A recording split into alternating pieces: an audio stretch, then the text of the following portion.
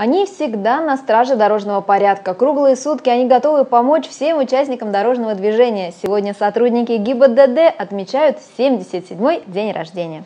Профессиональный праздник сотрудники МИАского отделения встречают на рабочем месте и в парадной форме. Наш корреспондент Ольга Звездина поздравила блюстителей дорожного порядка с их праздником. Вместо стандартной формы – белой рубашки. Свой профессиональный праздник сотрудники ГИБДД отмечают на работе, выполняя поставленные задачи. Ежедневно им приходится сталкиваться с человеческим горем, решать сложные вопросы, при этом сохранить выдержку и терпение.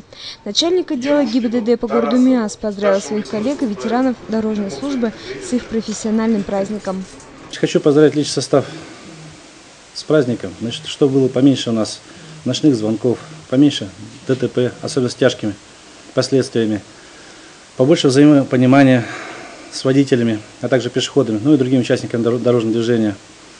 Ну, побольше ребятам звезд на погонах, карьерного роста, как говорится. Плохо тот солдат, который не мечтает стать генералом.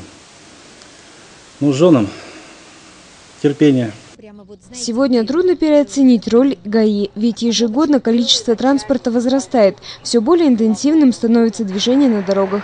В этой ситуации работа инспекторов сложна, но крайне необходима. За последние 10 лет функции ГАИ не изменились, главным осталось беречь порядок на дорогах.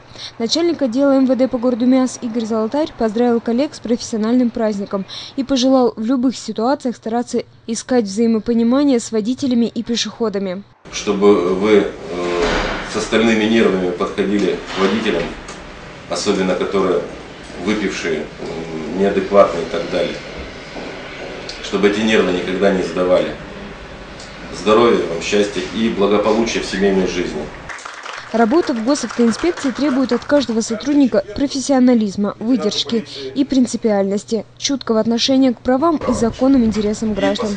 Для работников ГИБДД нашего города эти понятия наполнены особым смыслом и содержанием, ведь служба, которая всегда на виду, опирается на верность долгу и присяге. Ольга Звездина, Евгений Нигматуллин, программа «24 МИАС».